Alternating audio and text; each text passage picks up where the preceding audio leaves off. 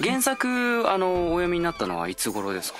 役をやらせていただくことが分かって、まあ、ええ玉代ってどんな人なのかなはいはいはいと思って読んだっていう感じなので、なるほど。台本もらう直前ですかね、おー。で結構じっくり原作通りいくじゃない？そうですね。一コマも見逃せない。かなりゆっくりほとんどのセリフを、まあ、ナレーションとか以外はうん。やってるので玉代さんを演じるにあたって言われたこととか。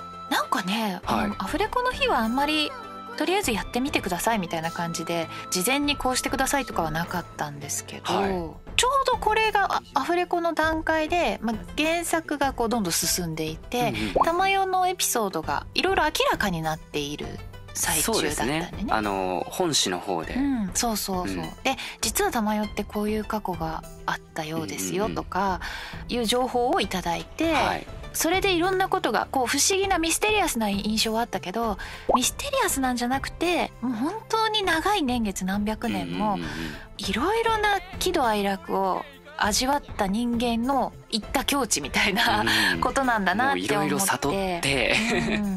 だから穏やかに全て受け止めるんだろうけども、どこかう憂いているっていうかね、はい。世の中を。がそれを説明を聞いてから玉代はイメージしやすくなったような、とまあゆしろがいてくれるので なんかこう和むから。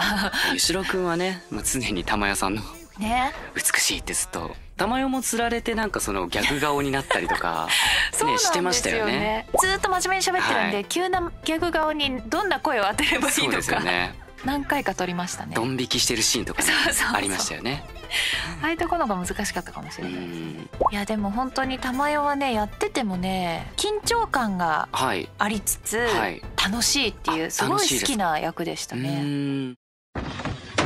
走る走る。